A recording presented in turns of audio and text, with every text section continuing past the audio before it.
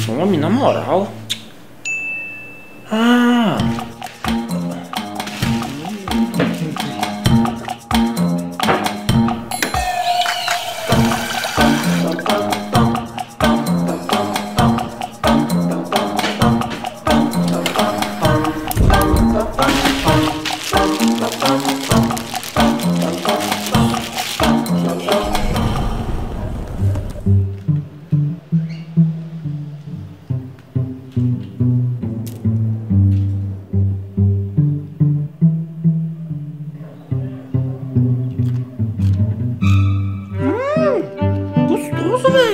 Nossa, eu vou comer isso todo dia agora.